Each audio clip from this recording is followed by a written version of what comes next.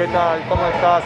Acaba de terminar exactamente y ahora va a salir al escenario a saludar a la gente que ha venido aquí a apoyarlo en la Plaza de la República de Brasil. Están saliendo acá todas las personas que han venido a escuchar, las 700 personas que han venido a escuchar a Macri.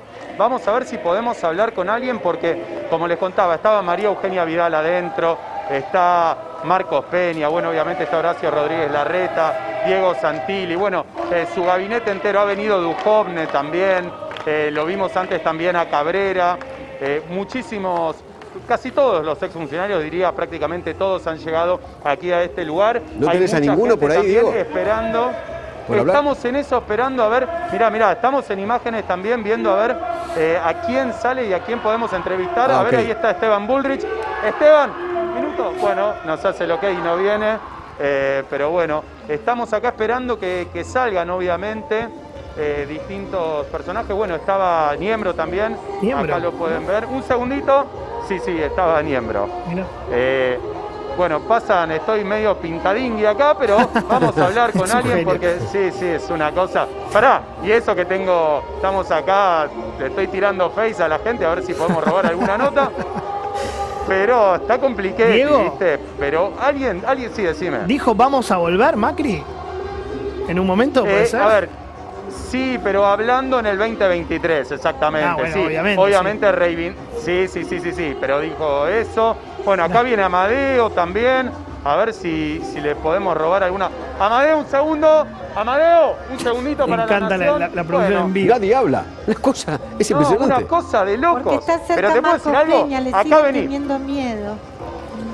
Mirá, Mirá, te- eh, Marcos Peña, eh, atención con este dato. Yo no sé si de casualidad, pero Marcos Peña llegó, entró a este lugar junto a Horacio Rodríguez Larreta Mirá. y a Diego Santilli. Llegaron los ese es tres un juntos. datazo, ¿eh? Es, es es Bueno, es pará, lo foto. tengo, lo tengo Amadeo. Es, una foto. Ah, mirá, Es- me frenó Amadeo. Bueno, ¿qué le pareció la presentación del libro? Me pareció fantástico, me llenó de ganas, de esperanza, muy positivo. Eh, está bien puesto el, el nombre primer tiempo, porque te invita a construir el segundo tiempo. Bien, eh, van, a, ¿van a volver en el 2023? Sin duda, Sin duda. sin duda, este, para salvar al país una vez más. Así que no, muy movilizador Mauricio. La verdad que estamos muy orgullosos de haberlo tenido y de que haya escrito este libro. Muchísimas gracias, ¿eh? Gracias, bueno, chicos. Gracias. Ahí viene Mario Negri. Negri, un segundito. Venga, venga, Negri, venga, venga. Estamos para la nación, Negri, venga, que lo mirá, lo- sí. acá, mirá, vení, vení, vení. Bueno, ¿qué le pareció? La presentación. muy lindo, estuvo muy bien. Es la visión. Cuando uno deja de ser presidente, acumula muchas experiencias, de errores, de aciertos. Digo, es imposible imaginar después. Ahora voy a leer el libro. pero- No descartó ser candidato en el 2023. Lo dijo Cini. No, no hablo nada. Hay que poner las cosas en su lugar. Bien. Creo que fueron una cosa muy, muy llana, muy humilde, con autocrítica, muy serena. Me pareció muy bueno. Bueno, muchas gracias. ¿eh? Ahí pasa Mario Negri. Bueno, continúan saliendo, obviamente, referentes de Juntos por el Cambio y del PRO. Eh, un detalle interesante, cuando llegó Martín Lustó aquí, al principio hubo algunos abucheos y hubo algunos gritos de traidor, pero luego fue aplaudido. ¿En serio? Eso no me parece menor. Mira, ahí tenemos en pantalla, Eso. abajo, abajo mío, ahí está. Esta foto, ¿eh? Esta foto es Marco, la reaparición de Marcos Peña. Sí, sí. Ahí está de Andrés, es eh, Larreta y Marcos Peña, ¿no? Sí, sí, que no- Canoso, canoso Marcos Peña, Muy ¿no? canoso que no tenían una buena No. relación, más bien todo lo contrario, No, Larreta y. Marcos Peña, ¿eh? Sí. Igualmente, Marcos Peña fue subordinado de, de Larreta en la ciudad de Buenos Aires. Claro. El, el jefe de Marcos Peña era Larreta, cuando, Cuando era Larreta jefe de era jefe de gabinete y Marcos Peña era secretario general de la ciudad de Buenos Aires, de la Exactamente. jefatura de gobierno. Pero después, cuando Marcos Peña llega a jefe de gabinete y Larreta jefe de gobierno, ahí eran como dos alas disímiles, no Ah, se llevaban totalmente bien. distinto. Para nada. Totalmente Él se llevaba distinto. muy mal con Lopetegui y con Quintana. Claro, Con los tres. Con los tres. Bueno, hay algunos textuales Creo interesantes. que en el libro, en el libro, hablando de Lopetegui y Quintana, creo que en el libro el presidente, se- el expresidente Macri se, se arrepiente de haberle soltado la mano a esos dos funcionarios. se arrepiente de haber y además dicho de lo de haberlos los llamado- ojos. Exactamente. Eso. Duhovne, Duhovne, un segundo. Duhovne, Bueno, se nos va Duhovne, Eh, es eso es muy difícil. Escucho muy mal el retorno, sepan disculpar. Lo tengo acá el diputado Enríquez. A ver, ¿qué le pareció, diputado, en la presentación del libro? ¿Van a volver en el 2023? Es lo que estaba diciendo el, pres- el Eh, expresidente. Seguro que vamos a volver en el 23, porque realmente entendemos nosotros que este estado de cosas que está viviendo el país en cuanto a la destrucción de la República, el avasallamiento del Estado de Derecho es absolutamente incomprensible y creo que este libro es una piedra angular para poder seguir trabajando en un futuro y básicamente porque entendemos que los aciertos eh, y, reconocemos también los errores que hemos cometido y hemos hecho autocrítica al respecto.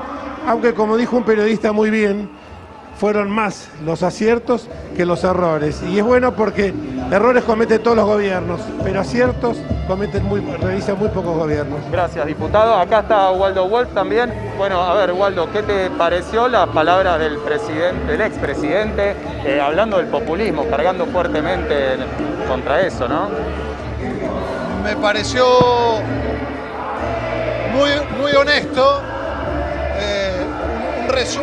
creo que fue Vargas Llosa el que dijo, este gobierno cometió, el, nuestro, errores como, como todos y aciertos como ninguno. Y la verdad que escuchar a un expresidente haciendo autocrítica y hablando de un modelo y no de los personalismos, eh, a muchos no- nos, nos llena de orgullo y, y yo entre tanto me siento muy identificado con eso. Gracias. Bueno, acá también lo tenemos a Ritondo. Bueno, ¿cómo, cómo siente esto? Es la vuelta de Mauricio Macri a la gente, a la política, ¿a No, qué? es la- no es la vuelta porque nunca se fue. Hoy públicamente eh, exhibe un libro donde cuenta los cuatro años, la experiencia, la vuelta y como bien dijo, que sirva esta experiencia para la pelea del segundo tiempo que ya empezó. ¿Qué nos puede contar acerca de los candidatos para las legislativas? ¿Cómo? Patricia Bullrich, ¿qué nos puede contar de los candidatos a las legislativas? Patricia Bullrich ya está recorriendo el interior del país. Ay, Digo, no. ya es candidata. A ver si lo termina de decir. No, a ver, yo creo que Patricia puede ser candidata y buena candidata, Horacio es un excelente candidato, todos saben que ojalá sea María Eugenia, que es lo que me gusta a mí, y seguro ahí está Diego, hay muchos buenos candidatos. Cuéntenos intimidades, porque estaba Marcos Peña, estaba María Eugenia Vidal, ¿de qué charlaron? Eh, Vamos a lo que hablaron ahí. Marco hacía mucho que hablamos por teléfono, pero la verdad que con la pandemia no lo vimos, así que lo vi a Marco, estuvimos charlando, quedamos en juntarnos, y la verdad que me regalaron el libro Mauricio dedicado, así que me, ¿Cómo lee esto? Eh, Marcos Peña llegó junto a Horacio Rodríguez Larreta y con Diego Santilli. ¿Cómo lee eso? No hay ninguna lectura. Hace.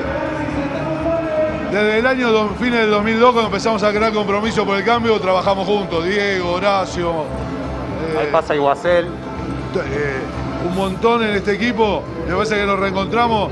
La mayoría gozamos de amistades personales. Y me parece que reencontraron un lugar de esto. Muchos nos veíamos. La pandemia, los lugares distintos. Hace un tiempo que nos veíamos. Perfecto. Bueno. Eh, ¿Qué destaca de todo lo que hubo, todo lo que dijo Mauricio Macri? la, la presencia de la Argentina en el mundo, eh, haber recuperado la autonomía eh, energética, eh, haber dado una lucha contra las mafias y la corrupción y, las drogas sin, sin cuartel. Me parece que son muchos los temas que se hicieron bien y que, que a nosotros nos pone orgullosos de nuestro gobierno. Chicos, Johnny. los está escuchando Ritor- eh, Ritondo. Bueno, ¿cómo te va, Cristian? Un abrazo acá, Jonathan. Estamos con, con Eduardo. Vamos Hola. a volver, dijo Mauricio Macri. Necesitamos los halcones, las palomas, los gorriones y hasta las gallinas. ¿Qué significa Y esto? hasta los pica, y lo- y dijo, y los picaflores. Los picaflor. ¿Qué significa? Traducilo. Que tenemos que estar todos juntos, que no hay divisiones internas, que de las diferencias tenemos que aprender y entender que no tenemos que entrar en ningún juego de divisiones internas, sino tener que aprovechar esas diferencias para concentrarnos en todas las coincidencias que tenemos, que es la defensa de los valores. María Eugenia Vidal está pronta a sacar un libro. Sí, mi camino. Eh, seguramente de acá a un mes María libro. Eugenia presentará el libro. Y uno de los temas centrales es que es posible que ella anuncie que va a ser candidata a presidente en el 23. Yo quiero que sea candidata a presidente del 2023, lo he dicho incansablemente. Vidal, candidata a presidenta. En el 23. Yo quiero que sea candidata a presidente ¿Y Larreta? Eugenia, Lo he dicho varias veces.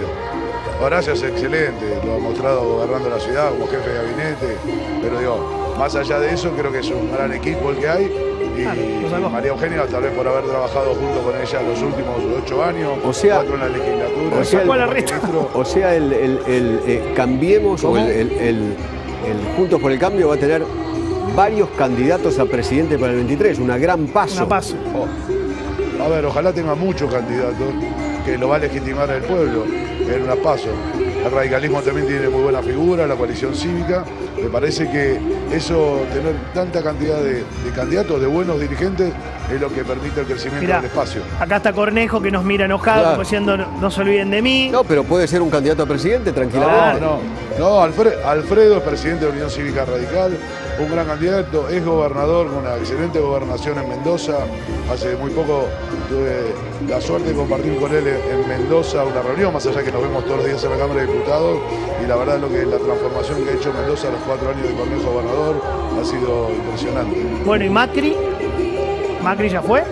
Yo creo, yo creo que Mauricio va a estar y seguir en la política y, va a aportar toda su experiencia. Yo hoy no veo que tenga ganas de ninguna candidatura, sí de aportar la experiencia y lo que pasó y como hoy dijo, ¿no? que, que no cometamos los mismos errores que cometimos, porque también hay, hay parte en este libro y en el discurso de Mauricio de hoy de, de autocrítica. Gracias, Ritondo, ¿eh? muchísimas gracias. No, muchas gracias a ustedes. Gracias, hasta luego. Bueno, eh, muy interesante, dejó algunos textuales fuertes. Eduardo dijo, el kirchnerismo es la expresión final del populismo, como diciendo, se, se terminó el populismo en la Argentina después de esto. Eh, dijo, los sindicatos nos dejaron de garpe con la reforma laboral. Y dijo, definirnos como gradualistas fue una forma elegante de disfrazar la debilidad política que teníamos. Fuerte Macri, Sí, claro. obviamente no dio pista de si va a ser candidato o no. Para mí no va a ser candidato ahora. Y No difícilmente... ahora, no en el 21. Y No se sabe en el 23. Falta mucho. Sí, sí, falta mucho. Sí